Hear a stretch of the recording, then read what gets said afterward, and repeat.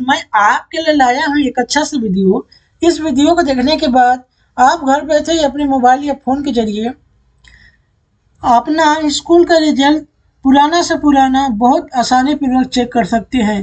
तो चलो इस वीडियो को स्टार्ट करते हैं। सबसे पहले आपको क्या करना है सिंपली आपको गूगल में U P M S P dot E T U dot लिख कर सर्च करना है।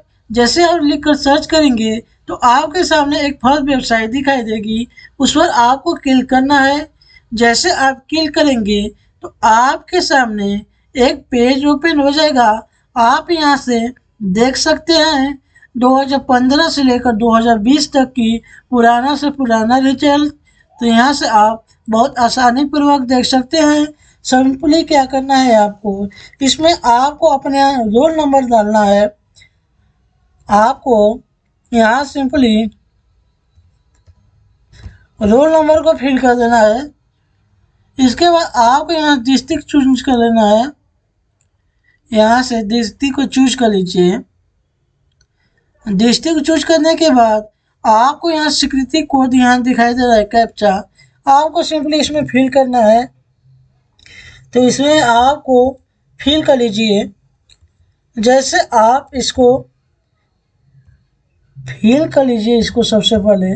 फिल करने के बाद आपको इसमें क्या करना है, आप इसे देख रहे हैं, आपको इसमें इसको फिल कर लीजिए। फिल करने के बाद आप इसमें देख रहे हैं व्यू रिज़ल्ट तो आपको व्यू रिज़ल्ट पर क्लिक करना है। जैसे आप व्यू रिज़ल्ट पर क्लिक करेंगे तो यहाँ पर कैप्चा है वो दूसरा आ गया है। आप दूसरे कैप्चा को फिल कर लीजिए। तो इस कैप्चा को आपको क्या करना है? सिंपली फिल कर लेना है। कैप्चा को फिल करने के बाद आपको व्यू के ऑप्शन पर क्लिक करना है। जैसे आप व्यू के ऑप्शन पर क्लिक करेंगे तो यहाँ पर क्या दिखाई दे रहा है? कैप्चा रिलोड यहाँ पर कैप्चा को रिलोड कर लीजिए एक बार फिर से। कैप्चा शायद गलत दिखाई दे रहा है। यहाँ से कर लीजिए। इसके बाद कैप्चा को फिल कर लीजिए। जैसे आप कैप्चा को फिल कर कर व्यू रिज़ल्ट पर क्लिक करेंगे तो जो आपका रिज़ल्ट वो बहुत आसानी पूर्वक ओपन हो जाएगा। तो इस वीडियो को यहीं पर ख़त्म करते हैं। अगर ये वीडियो अच्छा लगा तो मेरे चैनल ऑनलाइन टेक्निकल को सब्सक्राइब करो, ताकि इसी प्रकार की नई अपडेट मिलती रहे। जय